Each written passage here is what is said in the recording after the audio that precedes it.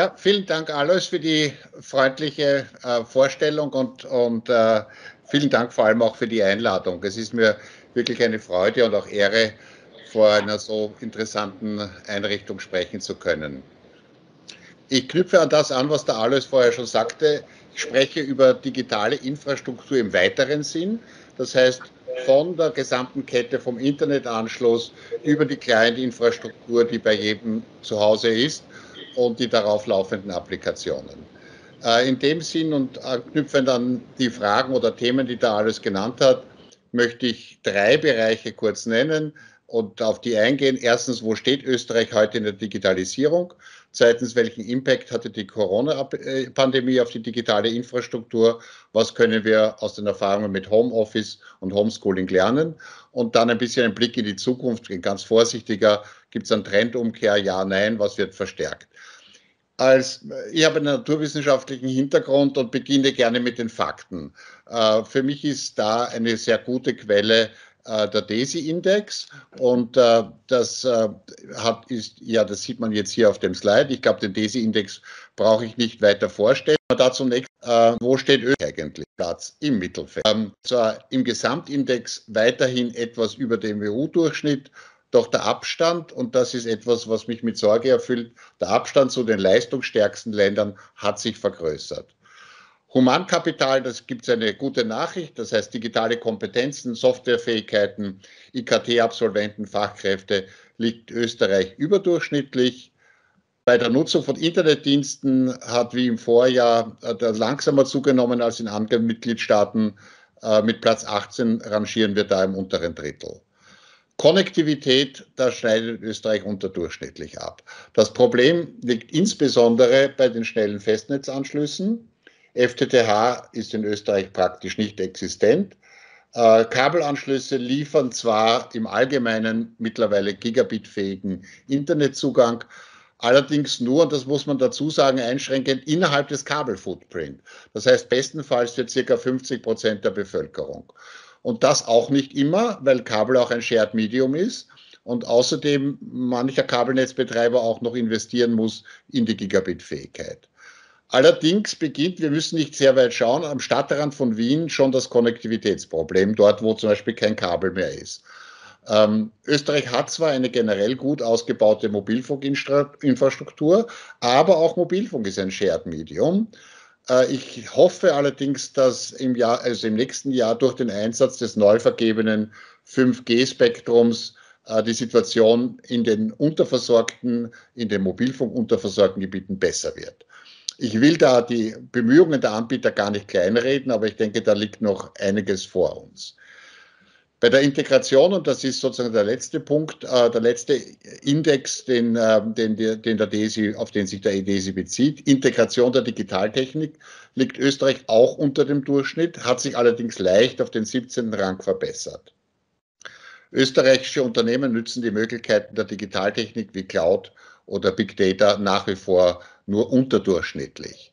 Und das ist natürlich keineswegs gut. Ähm, der Anteil der Unternehmen, die soziale Medien nutzen und online verkaufen, hat aber zugenommen. Äh, lassen Sie mich sozusagen kurz einmal zurücklehnen. Wir alle, die uns mit diesem Thema befassen, haben jahrelang Sonntagsreden gehört, was alles gemacht werden sollte. Aber diesen Sonntagsreden sind bildlich gesprochen von Montag bis Freitag keine oder nur halbherzige Taten gefolgt. Ich würde mir wünschen, dass wir mehr darüber sprechen, warum sich die Mehrheit der Bevölkerung mit dem Mittelmaß abfindet, auch die Mehrheit der Entscheidungsträger. Wir stecken nach wie vor in der Mittelmäßigkeitsfalle, aus der wir raus sollten. Das hat natürlich auch zu tun mit Mechanismen, wie Politik funktioniert, wie Mehrheiten gefunden werden, etc. pp. Ähm, die natürlich löst auch Digitalisierung da und dort Ängste aus, auf die Antworten gefunden werden müssen. Ähm, und ich denke mir, dass wir diese Fragen einerseits heute in der Diskussion, auch in diesen Arbeitsgruppen vertiefen können, zumindest ansprechen können. Aber ich glaube vor allem, dass die Digital Society wichtigen Beitrag. Meine Damen und Herren, Covid wie ein Vergrößer. Stärken werden besser sichtbar, Schwächen lassen sich nicht mehr unter den Teppich kehren. Lassen wir diese Krise nicht ungenutzt. Sie lenkt unsere Aufmerksamkeit genau auf die Handlungsnotwendigkeiten. Ich komme zum zweiten Punkt. Welchen Impact hatte die Corona-Pandemie auf die digitale Infrastruktur und was können wir aus den Erfahrungen von Homeschooling und Homeoffice lernen? Lassen Sie mich mit der Infrastruktur starten. Berek hat ähm, eigentlich von Beginn des Lockdown äh, monatlich oder sechswöchig ähm, Berichte äh, äh, veröffentlicht, ob es zu Engpässen in der Internetversorgung gekommen ist. Es gab außerdem zu Beginn des Lockdowns sogar einige Diskussionen darüber, ob im Falle nachhaltiger Kapazitätsengpässe die sonst sehr hochgehaltenen Netzneutralitätsregeln vielleicht aufgeweicht werden sollten, um wichtige Dienste bevorzugt zu transportieren. Allerdings ist es zu dem Ernstfall glücklicherweise nie gekommen. Und die Frage, was wichtige Dienste sind, äh, darüber haben sich natürlich auch die Meinungen, da gab es geteilte Meinungen, ob Gaming zum Beispiel ein wichtiger Dienst ist. Probleme sind allerdings an anderer Stelle aufgetreten und das führt mich zu einem weiteren Aspekt, der mir sehr am Herzen liegt. Die IT-Ausstattung des privaten Haushaltes lag vor der Krise in einem Bereich, den man, sich, den man mit Nice to Have beschreiben kann. Mit dem Lockdown wurde plötzlich gleichsam über Nacht der private Haushalt Teil der kritischen Infrastruktur des Landes. Der kleinere Teil der Bevölkerung verfügte und verfügt nach wie vor über ausreichend performante Internetzugänge, Client-Infrastruktur sowie genügend physischen Raum, um die multiplen Anwendungen aus Homeoffice und Homeschooling zu bewältigen. Beim größeren Teil der Bevölkerung allerdings schaut die Situation anders aus, nach meiner Beurteilung. Abgesehen vom oftmals bestehenden Raummangel bei vielen Familien fehlen oftmals ausreichend performante Internetzugänge und oder ausreichende IT-Ausstattungen. Also wenn sich drei Kinder einen Laptop teilen müssen, dann wird das schwierig mit dem Homeschooling. Da würde ich mir insbesondere auch mehr nachfrageseitige Förderung wünschen. Das ist ein Punkt, der in Österreich etwas unterbelichtet ist. Homeschooling hat aber auch andere Problemfelder aufgezeigt, wie zum Beispiel das Fehlen einheitlicher digitaler Lernplattformen. Hier orte ich massive langjährige Versäumnisse der Bildungsbürokratie. Ich weiß konkret von Schulen, wo die Eltern die Lernunterlagen in Papierform von der Schule abholen mussten, diese Unterlagen nach Bearbeitung durch die Kinder wieder in die Schule gebracht werden mussten, physisch, oder bestenfalls eingescannt übermittelt werden konnten. Ich denke, dass es auch ein besonderes Problem gibt bei Familien, äh, also bei Familien mit ähm, aus bildungsfern, fern, also bildungsferne Familien, bei denen die kind, Eltern den Kindern beim Lernen nicht helfen können.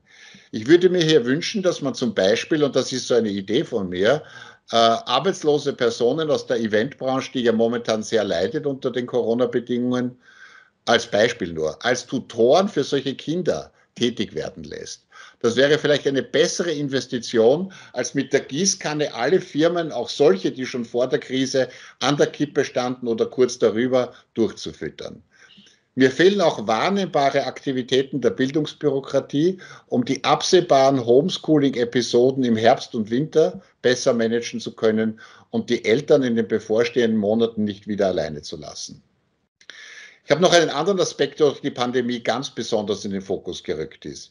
Ich habe schon vorher davon gesprochen, dass mit dem Lockdown gleichsam über Nacht die private IT in den Haushalten zum Teil der kritischen Infrastruktur des Landes geworden ist.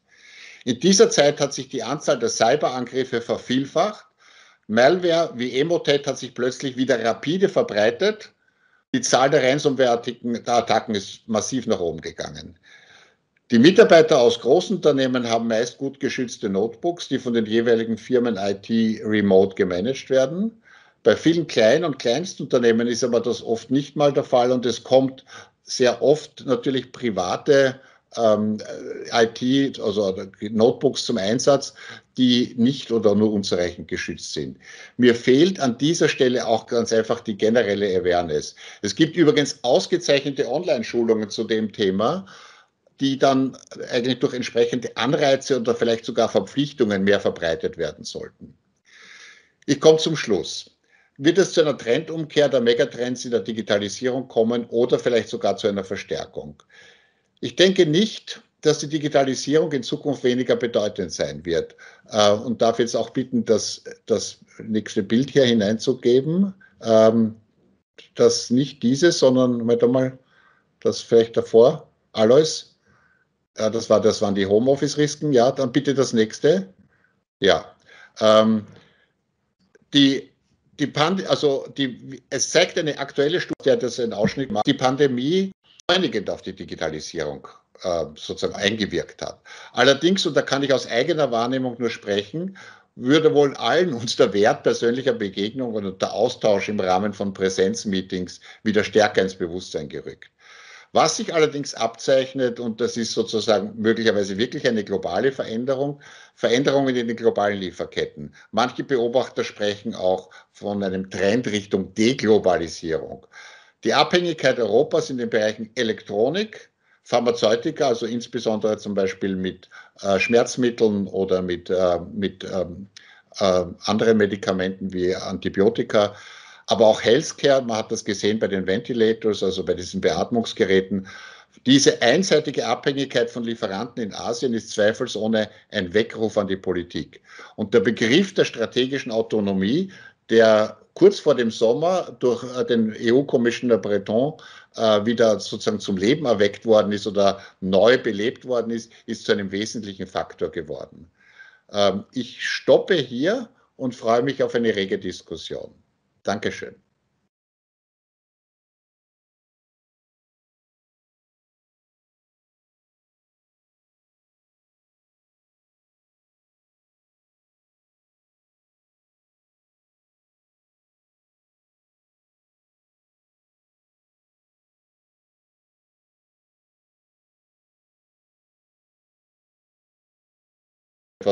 Aber ich glaube, dass ganz einfach extrem also dass rigide Strukturen in der öffentlichen Verwaltung und insbesondere im Bereich des Bildungssystems, aber auch im Bereich des Gesundheitssystems, äh, solche rigiden Strukturen äh, größte Schwierigkeiten haben, Veränderungen zu akzeptieren oder die auch weiterzugeben. Ähm, wobei zum Beispiel, es gibt ein positives Beispiel, das mir zum Beispiel einfällt in dem Zusammenhang über das E-Rezept, also das elektronische Rezept ist in Österreich, glaube ich, drei Jahre geredet worden, sowas. Da hat es nur Widerstände gegeben. Kaum kam Covid-19, ist über Nacht das elektronische Rezept Wirklichkeit geworden, weil es war eh fertig. Es wollte nur irgendjemand nicht und auf einmal ist das gegangen. Und heute geht das weiter. Heute brauche ich für ein Rezept, das ich immer wieder brauche, nur in der Ordination anrufen. Es wird in die Elga gestellt und ich gehe in die Apotheke und hole mir das Medikament ab. Das funktioniert. Also das heißt, es gibt also es gibt manchmal, und deswegen habe ich das auch bewusst gesagt, lassen wir diese Chance, die durch die Krise gekommen ist, nicht an uns vorbeigehen. Die, ja, das ist etwas, was einen transformatorischen Schub erzeugen kann, den wir nützen sollten.